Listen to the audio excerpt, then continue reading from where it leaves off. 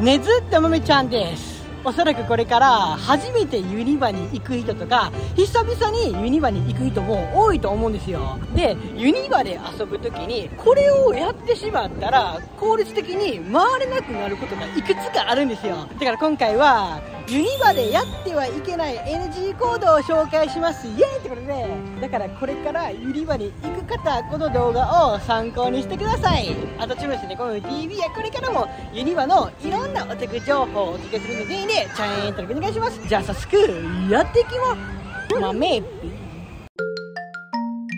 でまず1個目のユニバでやってはいけない NG 行動はユニバの公式オープン時間に来ることです。でこれだけ聞いたらえどういうこと？と思う方もいると思うんですけどもユニバって基本的には公式オープン時間より早くオープンするのが基本なんですよ。だからユニバの営業時間が9時から20時の場合したら公式オープン時間は9時なんですけどもその1時間前の8時にオープンすることもあるんですよ。で特にスーパー・ニンテンドー・ワールドに関したらユニバがオープンしてからもう10分後にはエリア入場制限かかってエリア入場整理券配布になったりするんですよ。さらにオープン時間の1時間後には整理券がもう夜の時間帯だったり運が悪かったら整理券がなくなったりするんですよ。だからユニバの公式オープン時間に来たら整理券もうなくなっとるやんってなったりすることもあるんですよ。だからこれからユニバに行く方は公式オープン時間より早く着くことを目標としてください。でオープン時間に関しては、まあ、日によって異なるんですけども、まあ、大体の目安なんです。けども土日祝でしたら公式オープン時間の2時間前もしくは1時間半前にオオープンすることが多くて平日でしたら1時間前もしくは45分前にオープンすることが多いです。でもこれもね結構バラバラやからこのユニバのオープンした時間帯をお伝えするんでぜひねチェックお願いします。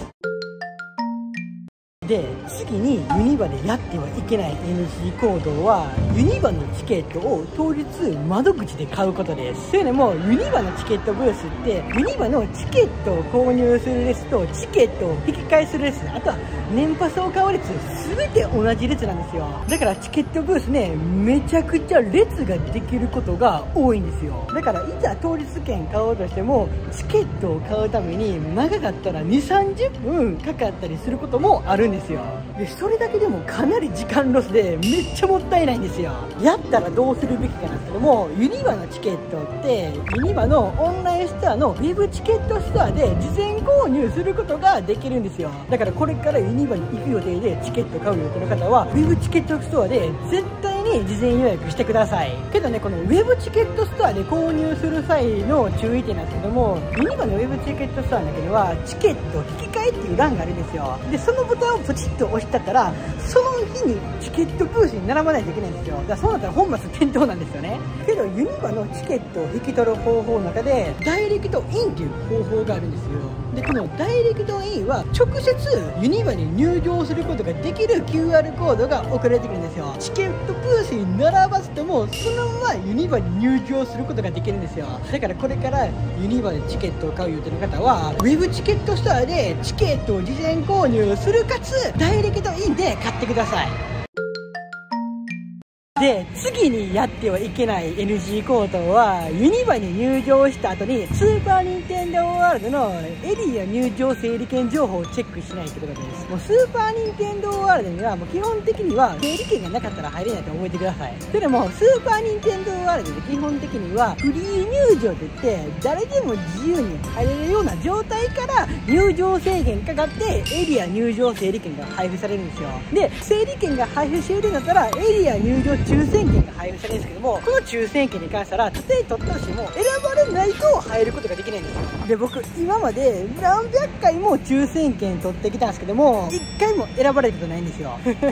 だからほぼ抽選券では入れないと思ってください。このフリー入場に関してなんですけどもユニバが混んでる日でしたらユニバがオープンしてからもう10分後くらいには整理券配布になってるんですよ。だからユニバのオープン時間の時にもうかなり前の方で待っとかないとフリリー入場で入れないことが多くなってるんですよ。この整理券もユニバが混んでる日はもう一瞬でなくなるんですよ。だからパーク入場してからちょっと整理券情報をチェックせずに遊んでたらもういつの間にか「任天堂ワールド今日行けないやん」ってなったりすることもあるんですよ。だからこれからユニバに行く人はパークに入場してからずっとスーパー・ニンテンドーワールドのエリア入場整理券情報をチェックしてください。でスーパー・ニンテンドーワールドのエリア入場整理券の取り方に関しては前この動画を開けてるんでここから見てほしいんですけども任天堂ワールドのエリア入場整理券に関するいくつかの押さえておきたいことがあるんですよまず1個目は整理券の時間帯は表示されてる時間帯しか取得することができないんですよ。だからユニバに入った時点で全ての時間帯の整理券を取れるわけじゃなくて14時の整理券が欲しい場合はこの14時の整理券が出るまで待たないといけないです。あとその他で押さえておきたいことはユニバのエリア入場整理券抽選券って1人1日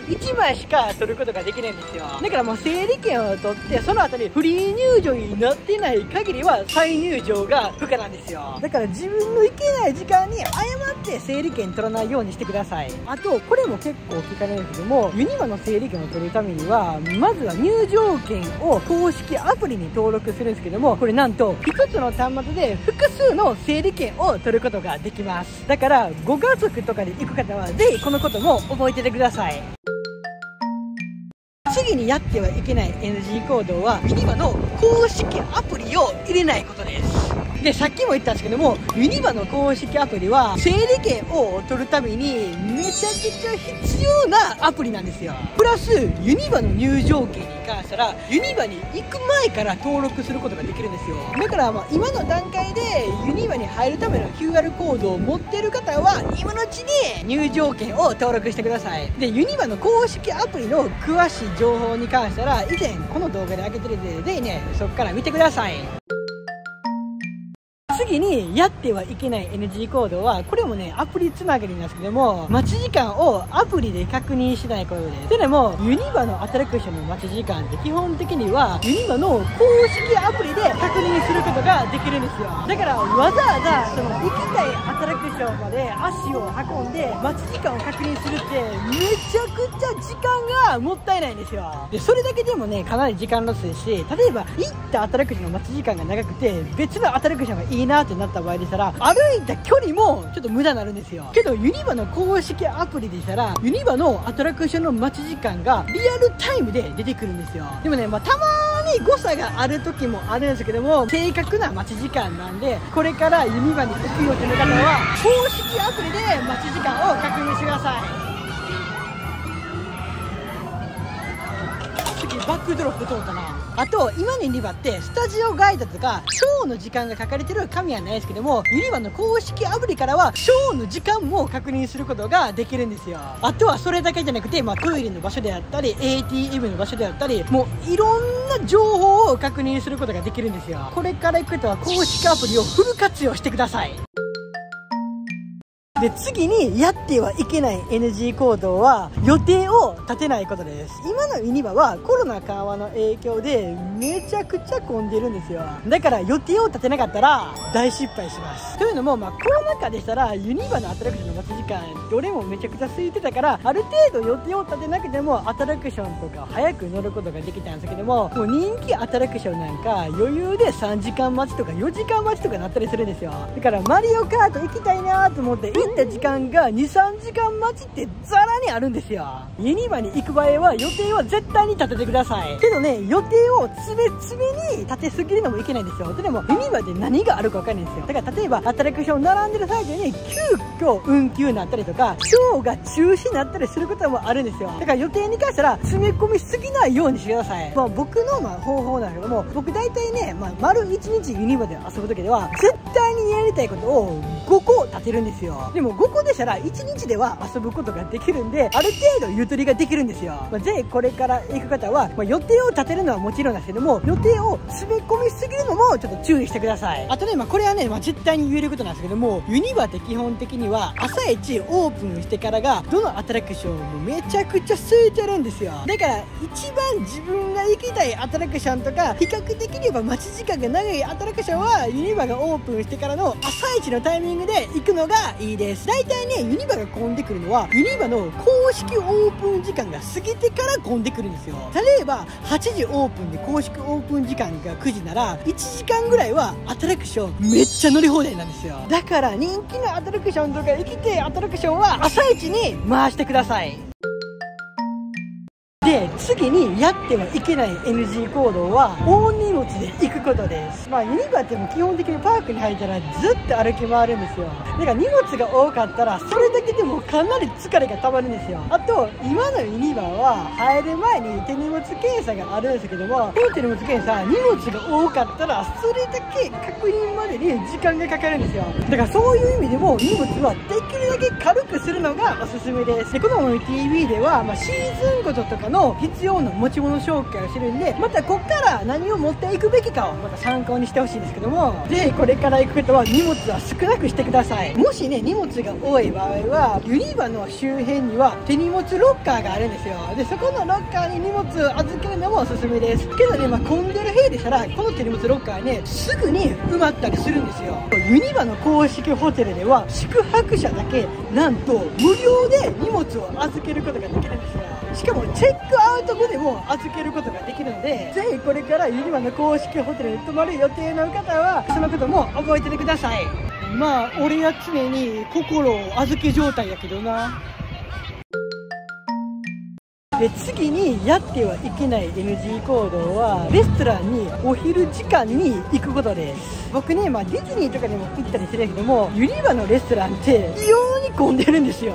それこそめちゃくちゃやばい時はレストランでメニューを頼むためにもう1時間以上かかったりする時もあるんですよ。でまあアトラクションに関したら1時間待つことはいけないですけどもレストランに関したらもう1時間待つことってめっちゃ苦痛なんですよ。それこそもうお腹も減ってるしもうレストラン食べるためだけに1時間待つって心的にもちょっと苦痛なんですよね。だからこれからユニバのレストランでお食事取る予定の方は絶対にお昼ご飯の時間帯のピークをずらしてください。大体ユニバのレストランのお昼ご飯の時間帯のピークは11時から13時なんですよ。けどもハロウィンとか春休みとかめちゃくちゃ混んでるシーズンでしたら大体もう10時半から混み出して15時ぐらいまで混んだりするんですよ。だからこれから行く方はこの時間帯をずらすのがおすすめです。でほんまに自分一番行きたいレストランがある場合はそのレストランのオー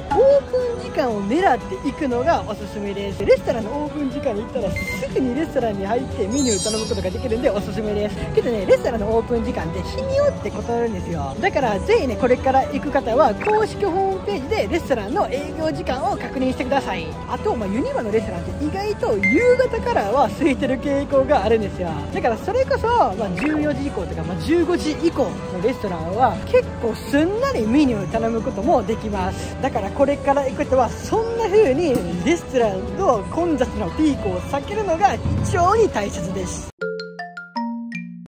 で次にやってはいけない NG 行動はご飯を食べる場所を決めないことです。これはね、まあ、レストラン関連なんですけども、まあ、フルサービスのレストランなら席を案内してくれるからいいんですけどもクイックサービスの場合でしたらメニューを頼んだ後に席を探しても満席の場合とかもあるんですよ。だからこういうようなクイックサービスで、まあ、テイクアウトができるレストランでお食事とる場合は先に席を確保してからメニューを頼みに行くのがおすすめです。で比較的に、まあ、外の席の場合は席取りやすいんですけどももう店内の席はもういつでも争奪戦なんですよ。だから店内で食べる方はより一層席は確保してください。あと外で食べる場合も屋根がついてある外の席は結構埋まりやすいです。で次にやってはいけない NG 行動はユニバのレストランの予約を取らないことです。で解説する前に、まあ、ユニバのレストランの中にはフルサービスのレストランとテイクアウトができるレストランがあるんですよ。でこのテイクアウトのレストランはもちろん店内で食べることもできるんですけどもそのレストランで買った商品を別の場所に持って行って食べることもできるんですよ。でそれがこんだけあります。結構ねテイクアウトできるレストランねユニバ多いんですよ。でこのテイクアウトができるレストランのいい点はレストランの席が埋まったりしててもメニューを頼むことができるんですよ。だからフルサービスのレストランより待ち時間が短くて回転率がいいんですよ。だからわざわざ店内で食べなくてもいいよって方はこのようなテイクアウトができるレストランに行くのもおすすめです。で問題はフルサービスのレストランですけどもフルサービスのレストランはこれだけあるんですよ。